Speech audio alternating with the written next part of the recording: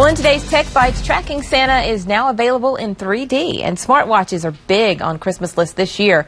ABC's TJ Holmes and Reena Ninan show us which watch is most popular.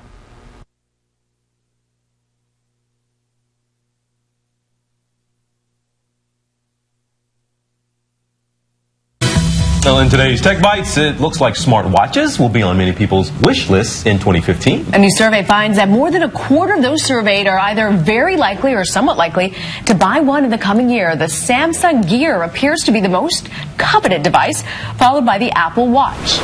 Microsoft reportedly has some big changes in the works for its mobile Outlook users. And the company has just acquired the critically acclaimed startup Acompli, which allows users to easily manage their email and calendar right from their iOS and Android devices. And let the Santa tracking begin. Google's Santa Tracker promises daily games and projects like racing reindeers and wrapping presents. And Microsoft's NORAD tracks Santa will allow users to follow old St. Nick in 3D right from their mobile devices. Everybody's trying to keep up with this guy right now. Don't forget to leave behind milk and cookies.